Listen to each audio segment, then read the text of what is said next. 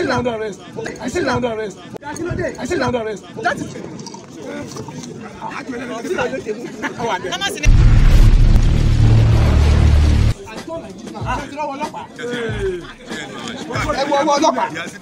just come in like this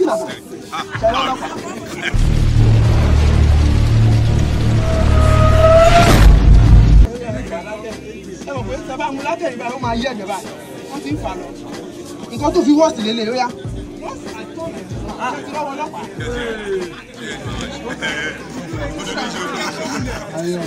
ẹ wọ ọwọ́ ọlọ́pàá.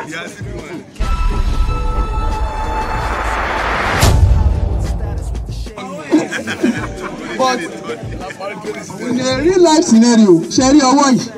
Kò lè bá wọn délé o. Because bó ṣe wà tí bá gbé èjìká rẹ báyìí ó máa ṣẹ́.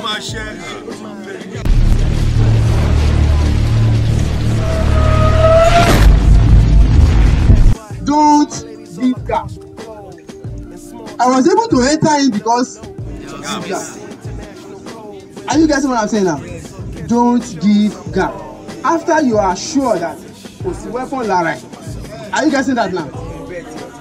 O dẹ̀ sí mú belt. Are you getting that now? When you want to move in, if I'm moving into that place now, I move in this way.